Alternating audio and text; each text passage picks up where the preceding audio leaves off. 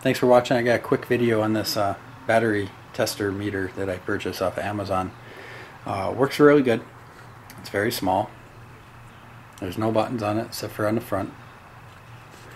And I'm going to show you how to program it and show you what it can do. So basically when you, turn, when you power it up, it gives you um, a percentage. Push the power button again, it gives you a voltage reading. Press it again, shuts it, shuts it off. Now, if you want to set this up for lithium ions, it can read cells based on 3.7 volts, and then you just tell it how many batteries you have in series. Um, and it can also do lead acid, and I'm going to show you how to get in there and change the settings. So we start by unplugging the power, holding the power button down, powering it up, okay, and then we're into the uh, settings. Um, so L is your lithium ion, 5, it started off at 3, but I accidentally pushed it a few times so it got up to, to 5, but starts off at 3, so 5 would be 5 batteries in series. Mine is 10. It's a 36 volt battery, so I have 10 batteries in series. Um, but it can go all the way up to like 26. Yep, so 26. And then it goes into your um, lead acid settings. There's 24 volt, 36 volt, 48, 60, and it keeps going. So in my case, I would put it to 10, L10 for lithium 10 series, unplug it, power it back up, and then it'll say L10 and it'll boot right up.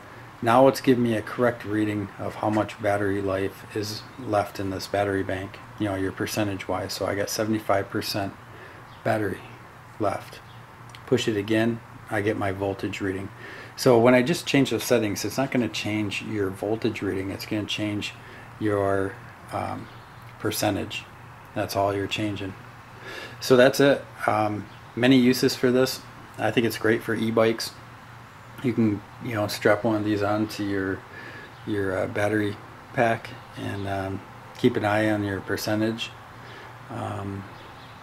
I hope to build some sort of box for my battery and then maybe put this on the cover so while it's charging I could keep an eye on it and maybe cut my charging off when it hits like 90% or something and then I'm riding I can keep an eye on this um, because the one on the bike the screen isn't as accurate as this.